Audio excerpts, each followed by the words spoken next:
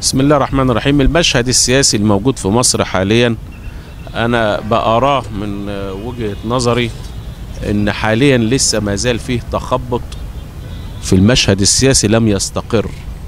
في توتر لسه حتى الآن الثورة ما حققتش هدفها السامي النبيل اللي هي قامت من أجله اللي هو مبادئها وأهدافها عيش حرية عدالة اجتماعية. وده مش هيتحقق غير أما تستقر البلاد ويتضح المشهد السياسي ويأتي رئيسا للجمهورية يدعم مطالب وأهداف الثورة. ده اللي أنا شايفه حاليا ما بين شد وجذب وما بين توتر وما بين تارة تأخذنا ناحية اليمين وتارة أخرى تأخذنا ناحية اليسار. بمعنى الأمور تمشي هادية شوية ثم يأتي بعض آه الحركات والمطالب الفئوية. فإذا في اضطراب زي ما انت حضرتك بتشوف وأحداث عباسية وما قبل وما قبل وما قبل وما قبل إلى أن قامت الثورة. يعني بقى لنا سنة وثلاث شهور تقريبا آه لسه المشهد السياسي لم يستقر. دي رؤيتي أنا. فإن شاء الله نتمنى الخير ونتمنى الانتخابات تتم على خير ويستقر المشهد السياسي. شكرا. أثارت بعض الانتقادات إلى أداء مجلس الشعب. الممثل المصريين ونحن لا نتكلم عن الانتقادات ولكننا نريد يعني أن نتكلم عن ما حققه المجلس من إنجازات وإن كانت في عيون بعض بعض قليلة إلا أن الظروف يعني فحدثنا عن الإنجازات. بالنسبة لمجلس الشعب حضرتك يعني أنت حضرتك عارف إن الأغلبية طبعا في مجلس الشعب حزب الحرية والعدالة دي أقوى قوة ثم يليه حزب النور السلفي ثم حزب الوفد اللي أنا بأنتمي إليه ثم باقي الأحزاب الأخرى. فحاليا أداء مجلس الشعب حتى الآن بيجتهد ولكن لم يتبلور شكله الطبيعي من المشاكل التي تحيق به من جميع الجهات. ده إحنا حتى بنخش المجلس يعني بقالنا أسبوع بدأت الأمور تستقر. قبل ذلك كنا بنعاني في دخول المجلس من الاعتصامات والمطالب الفئوية إلى آخره.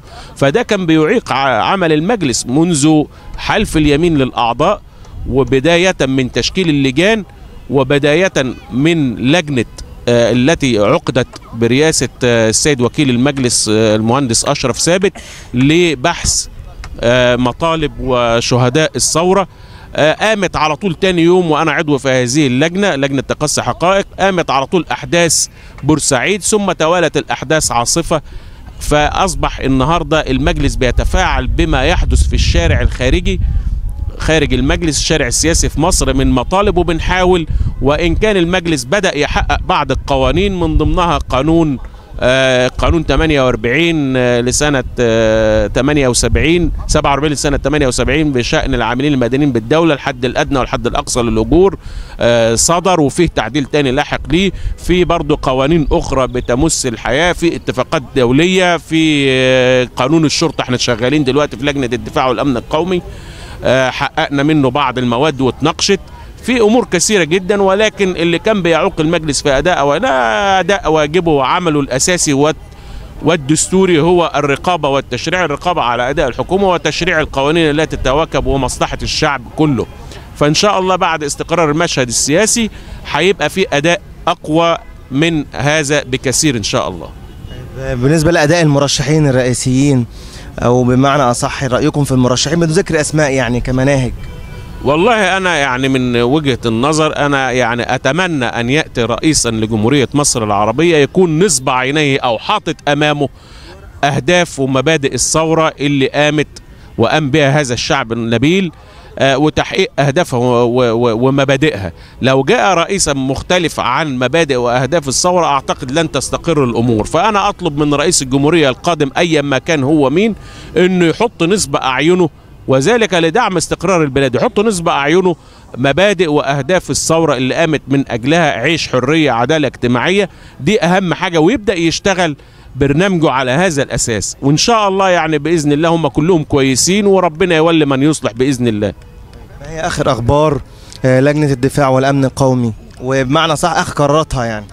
إحنا آخر حاجة في لجنة الدفاع والأمن القومي أخرجنا قانون هيئة الشرطة عدلنا فيه قانون 109 سنة 71 قانون خاص بهيئة الشرطة.